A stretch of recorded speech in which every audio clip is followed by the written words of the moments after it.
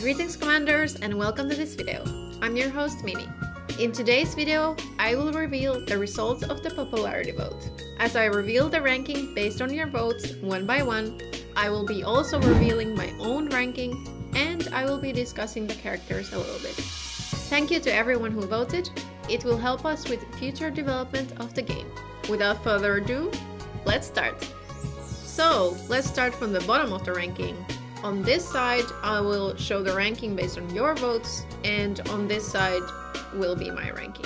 As for my list, I ranked the characters based on their character design, weapon design, and also based on the thought of how interesting they would be as playable characters in the game. Now, I will start revealing the ranking made by you guys, starting from the last place. So, on the last place was Hayami Uzuki. So you guys voted Hayami Uzuki to be on the last place, whereas on my personal list, she's ranked as number 7. Some of the reasons why Hayami Uzuki is ranked as 7 on my list are that I think her character design, her weapon design are really aesthetically pleasing to me. And she's also a spear user, and we don't have any spear users yet in Action Taimanin, so I think that she would be a very fresh addition to the game. Next is uh, rank number 16, and you guys voted Yanagi Yuna to be on place number 16. It so just happens that she is also placed on rank number 16 on my personal list. Yuna is very adorable, and I do admire her strong sense of justice. In the game, I strongly believe that she would be a melee character, but the thing is that her only weapon is her suit. So her suit is called the Ninja Combat Suit, and that's her weapon. So I think if she did become a playable, I think she would lack the charm of having a really cool weapon. Because a suit is not something extra, you know, like a pair of guns or a sword. So that's why Yuna is on place number 16 on my list. Are you curious about who is on place number 15? Well, that's none other than Granny. On my personal list, Granny is placed as 11. And I think Granny is super adorable, cute, and she has a very tragic backstory. If she became a playable in the game, I think she would be a melee character very similar to Sue. But, you know, hopefully with some twists so that they wouldn't be too similar. And on place number 14, you guys voted for Kanazuki Sora. And again, so it happens that she's also on place number 14 on my list. I have a thing for redheads. I love redhead, and I had red hair in the past. So she does have an extremely pretty character design, but I'm just not sure about how her weapon would work in the game if she became a playable character. If you have an idea, let us know in the comments. And the next character on place number 13 is Watarazu Tsumugi. On my list, Tsumugi is placed as 10th. She's extremely adorable with a very unique ninja art and weapon. She is small but dangerous. Just by looking at her weapon, it just looks so heavy. I feel like she would move similarly to Murasaki in the game, but maybe that's just me. And next, on place number 12, we have Mikagami Haru. Mikagami Haru made it to place number 13 on my personal list. So if Haru became a playable character, she would be another ice artist like Kirara, but just with another weapon, which is her bayonet. Her character design is really beautiful, but she gives off a different vibe as a tomboy character. So I do think she would be a really like a fresh addition to the Action Taimanin character roster. Yeah, and her weapon is really cool, I think. I mean, can you imagine the kinds of combos you can do? No, I can't. And that's why we need Haru win the game. You shoot and stab. We are approaching top 10. But before that, we have Mrs. Mekamura Uraru on place number 11. And on my personal list, Mekamura Uraru is on place number 4. I think Uraru is a hilarious character, and I love how proud she is of her machines. Give me her gears? Self-destruct initiated. Gears. So if she ever became a playable character in the game, I think she would definitely be a machine type and she would have some kind of a cool gear as her weapon. Do you think she would be long range or closer range? Good question. I think to create some kind of variety, I think she could have both. She could do everything. What can you not do with gears? Tell me in the comments. Next, we are gonna get into top 10. And the lady who made it to top 10 on place number 10 is none other than Kuramochi Keito. So I heard that um, Suze has some thoughts about Keito. She's not my type, I guess. Exactly, you know. That's so sad because Keito is on place number 6 on my list and I think her character design and weapon design are insanely cool. And we don't have a bow user yet in Action Taimanin so she would be a very nice addition to the game. I can just already imagine like the really cool effects of her shadow arrows flying around. I think it would be cool. For place number 9, you guys voted Sakuragi Suruga. On my personal list, she is placed as number 5. So this is very biased, but I'm a cat person and I think her character design is very adorable. I love cats. If she did become a playable character, I imagine that she would have very cool claws, similar to Oboro's but more cat-like, I guess. And she would be unique in the sense that we don't have a character with animal-like features yet in Action Taimanin Suze, are you a cat or a dog person? Dog, definitely. Alright, next. On place number 8, we have Inokura Suzuka. 8 is my lucky number, which is super irrelevant, but Suzuka is actually on place number 1 on my list.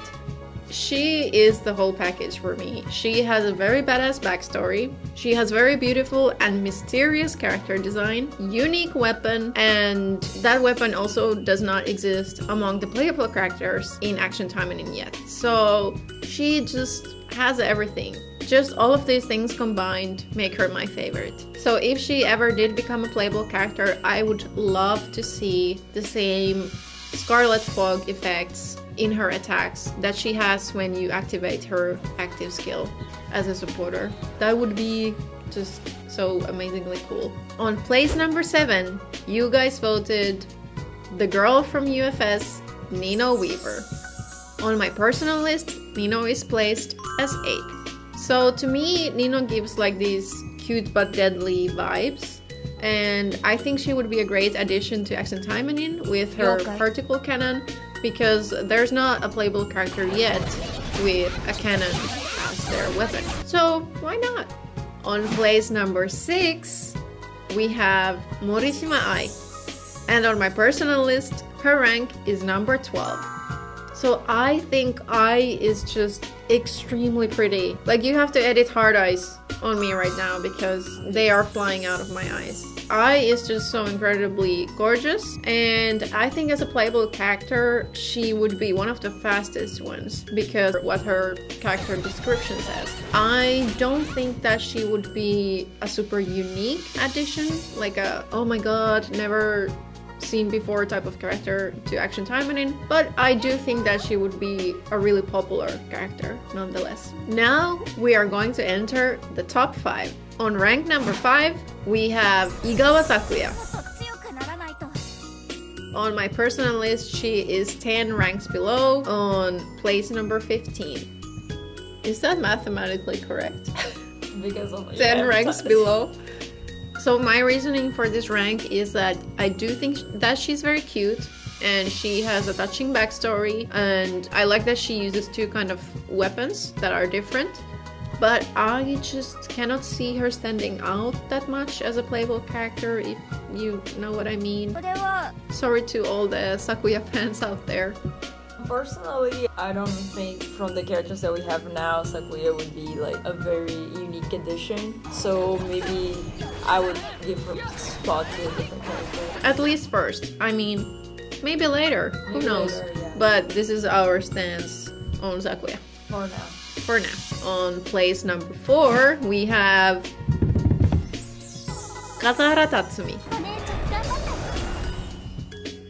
So on my personal list, uh, Tatsumi is placed as second. I do think that her character design is very cool, and I do imagine that she would be an extremely powerful playable character. And there's this personal thing where I also think that all the Evil Eye users, minus Fuma, are very cool because I think the Evil Eye as a concept is very interesting and fascinating. So that's why she's placed as second on my personal list. Yeah, I think Tatsumi is an all-around very good character. Like she's like essential. You need her for everything. Like You do.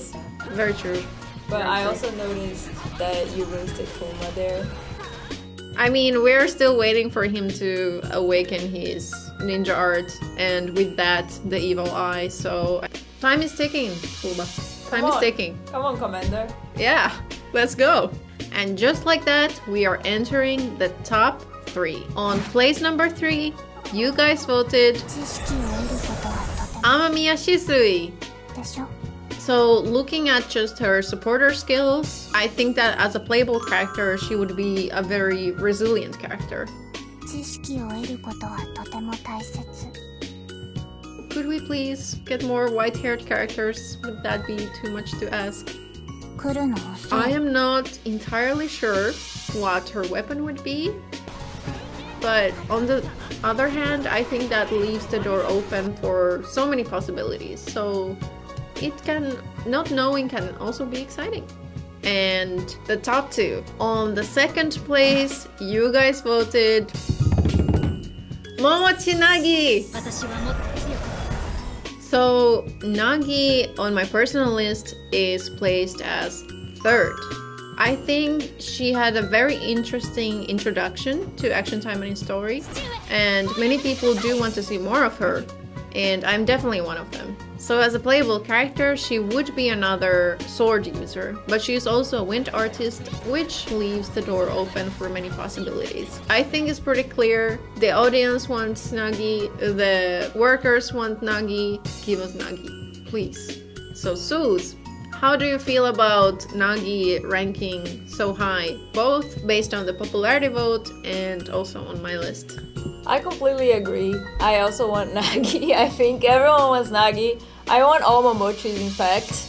I think everyone should join. I think you should be a Momochi party. I hope that our voices and your voices are heard. You might have guessed already who is the top one, but we're still gonna reveal her. So, on the first place, based on popularity vote, you voted Uehara Rin on my own list. Unfortunately, she's on the last place, but it's not because I have something against her, it's because I don't know her. I do think that she's gorgeous, and I for sure wouldn't mind her being a playable character, but she's on my last place because I don't know who she is.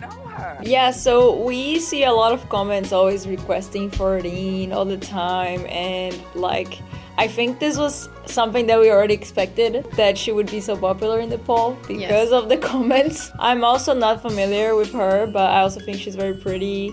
And she looks powerful, right? Her pose. I definitely think that Rin should have a chance in joining our character group. Agreed. So, there you have the results of the popularity vote. Tell us in the comments your thoughts about it, and don't forget to subscribe to our channel for more news, updates, and more. Thank you so much for watching, and we'll see you next time. Bye bye! Bye bye!